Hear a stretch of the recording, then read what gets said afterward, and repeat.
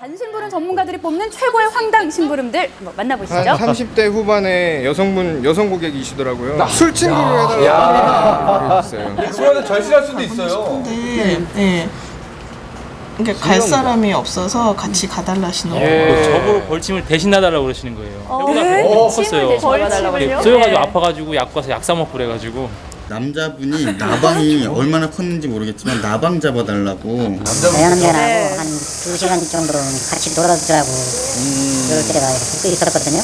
그런 거는 솔직히 하고 싶지 않지만 있긴 있었는데 조금 저기 하죠. 노력과 시간과 귀찮음 같은 건 그 돈 이상의 가치를 지는 일이라고 생각이 드는 거죠. 배우자가 하던 일을 대신해주는 그런 종류의 심부름이 또 있어요. 이것은 결혼 제도의 변화에서 오는 그런 현 사회 현상이라고 생각이 들어요. 네, 이런 잔심부름 업계에서 최근 창업을 통해 한 업체의 대표로 당당히 자리매김 중인 한 청년 사업가를 만나볼 수 있었습니다. 아무래도 그분이네요. 직장을 구하기보다는 창업해서 자기가 자기 가게를 꾸려나가는 게 조금 더 길이 트여 있는 걸로 보여서 저희는 이렇게 시작하게 됐습니다. 잔심부름 업체를 차린 사무실에서 업무와 주거를 동시에 해결하며 열심히 일하고 있지만 아직은 소규모의 일단은 일인 저 혼자 기업이죠. 다 하고 있습니다. 전화도 받고 배달도 하고요.